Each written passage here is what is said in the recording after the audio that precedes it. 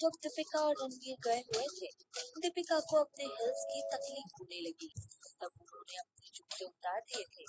But Ranveer Singh ने दीपिका के hills उठा लिए और अपने पास रखे। सभी लोगों की नज़रें तब वही पर थी। इट्स अ प्योर लव आपकी क्या राय है इस बात पर?